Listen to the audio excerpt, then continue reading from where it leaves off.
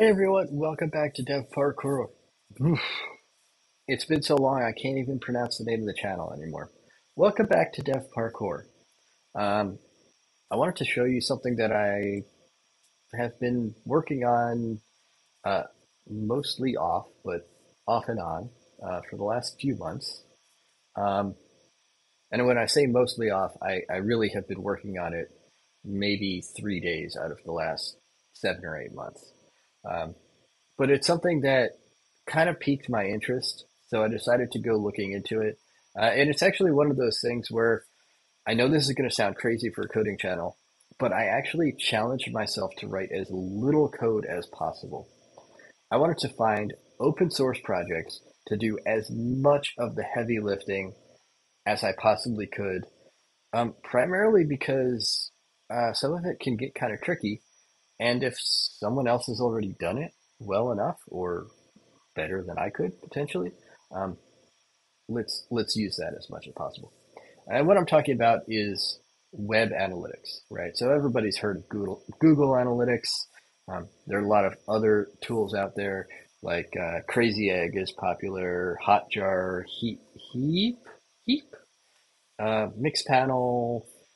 Uh, I used to work for a company called Quantum Metric. They're kind of in that space, so they do a lot more uh, than that. And then, then there then there are also some other uh, applications and tools that uh, get into more like um, you know error detection and uh, uh, monitoring and, and that sort of thing. Um, but we'll kind of keep it to the web analytics space, kind of like Google Analytics, uh, but you get control over it, right? So there are open source alternatives uh, I've seen one called uh, Plausible, I think.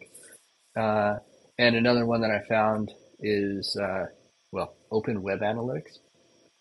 Um, but I was really drawn to one called Countly. Um, and the, the main reason for that is licensing. Um, so, unfortunately, Open Web Analytics and Plausible, while both being open source, uh, and they look pretty pretty good, pretty powerful. You could just grab them, run them uh, out of the box, um, and have a full uh, web analytics platform. Um, their licensing uh, is kind of weird. So they use something called the AGPL, the Affero GPL, um, which is basically GPL, which is typically uh, not is typically. GPL is that you can make modifications to the code, but if you uh, distribute the code, uh, you know, in compiled form, you have to you still have to make the source available, right? It's it is completely open source, truly open source. One loophole with that is with the rise of the web. If you just make modifications to a GPL project and host it on your own web server. That's not distributing binaries of the of the code. You're just giving people access. You're allowing people to use the software on your systems, which means that you don't have to uh, release the, the the source code for your modifications. Well, the AGPL, the Affero GPL, is uh, kind of a way of patching the loophole. And basically, what it says is it's GPL plus if you allow people to use your web application, your your modifications to this web application, you have to make the source uh, for your modifications available. Well, I don't necessarily want to tie myself into uh, you know that that realm. What if I want to make a commercial product of this, right? What if I want to make it closed source? Um, not that I'm necessarily going to, but you know, I don't want to hamstring myself right right from the beginning. So, Countly, their server is licensed. It's it's still open source, but it, it is licensed under the AGPL. However, their little JavaScript library, basically the JavaScript snippet uh, that gets downloaded uh, uh, into your uh, into the web browser, that starts recording uh, all the stuff going on in, in the website, that is licensed MIT, which is pretty unrestricted. Um, so let's actually switch over to my screen and I'll show you the Git repository, the GitHub repository for the Countly uh, Web SDK. And this is the source code for the, the little JavaScript snippet. Uh, there's also a little, think, uh, let's see, SDK.js, I think is the actual source source.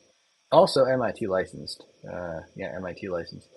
Um, where they, uh, the community potentially, right, uh, makes modifications to the little JavaScript uh, snippet, um, little JavaScript library that gets downloaded into the browser. Um, but then the uh, the web SDK is the minified, compiled and minified version. So this is a this is a good place to start. And what's awesome about this is that uh, it's pretty well documented, and uh, it's a pretty good foundation to start building other things on top of. So if you want to track specific information, uh, specific events, um, it's not that tricky to extend this little JavaScript snippet, um, and then and then bake it into your your application, whatever whatever you're trying to do web analytics on. Um, however, that does mean that you you still need a server to record all this stuff. So I challenged myself again from the very beginning, write as little code as possible. I basically wanted a little API that would take what this JavaScript snippet is sending out and basically just save it to a database.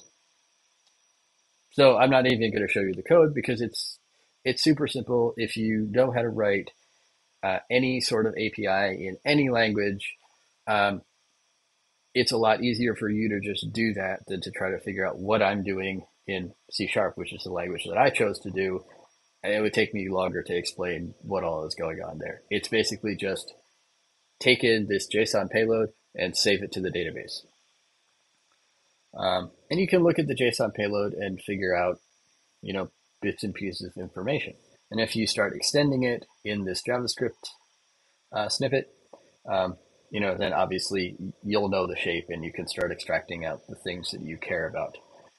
Now, the interesting part about this is now you have data in a database that has uh, information about sessions and events and clicks, um, and you can uh, install something like Superset on top of it. Superset is pretty cool. It's an Apache project. It's licensed under the very unrestricted Apache 2 license, a little more restrictive than MIT and BSD, but still uh, pretty flexible. You can basically do whatever you want with it. Um, I, the the lawyers are going to be upset with me for what I just said. You can't just do any, whatever you want with it, but it, it is it is pretty permissive. You can do quite a bit with it. Uh, commercial, uh, non-commercial, right? Whatever. Um, anyway, enough licensing talk. I, I, did another video a long time ago about all the different open source licenses. Go watch that. If I remember when I'm posting this, I'll, I'll put a link to it in the in the description. If not, I promise you it exists. Just search dev parkour licenses. Uh, I'm sure it'll show up. So Superset is pretty cool. Again, open source project, um, and it's basically just a very general purpose uh, dashboarding and analytics reporting tool. Uh, so you have different uh, data sets, database connections. So I just added one for my analytics database. And then you can create some data sets uh, and you could go into SQL Lab and say, okay, I want to see the analytics database. Yeah, it's the analytics schema because this is uh, MySQL. So it's what we think of as a MySQL database is technically a database schema. But anyway, and then we can look at tables. And I split mine into sessions, events, metrics. That's kind of how Countly reports its stuff. So that kind of made sense.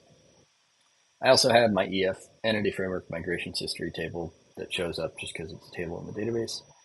Um, and in this SQL lab, I can start running queries. So I can do like uh, select star from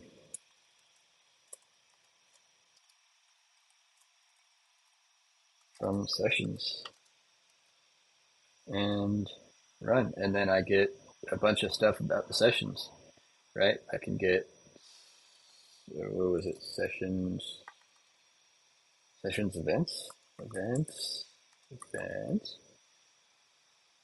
That's not right. What is it? Session events. Session events. And there we get, you know, various events, right? So view, orientation, a bunch of portrait, a bunch of landscape. That's cool. Um, yeah. Uh, and from there you can you can start doing more and more complex queries. But what's really interesting is if you go into the dashboarding capability, you can do stuff like this, which I, I haven't built that much, to be fair. But I can see it looks like five sessions today, six. I don't know what unit that is. I really should figure out what unit that is. Um, you can add more charts. So let's actually just drill into what what this particular chart is is defined as. So it's basically uh, binned by session start, uh, binned by day. Uh, the metric is count ID. I actually could have just done count star. That uh, whatever, you know. Um, and then the filter is did it have a session start, which that should be all of them, but mm, that was in there as a default. So sure, why not? Um, and it's got a bunch of different uh, types of charts that you could create. So if you go back to charts, you can say add a chart.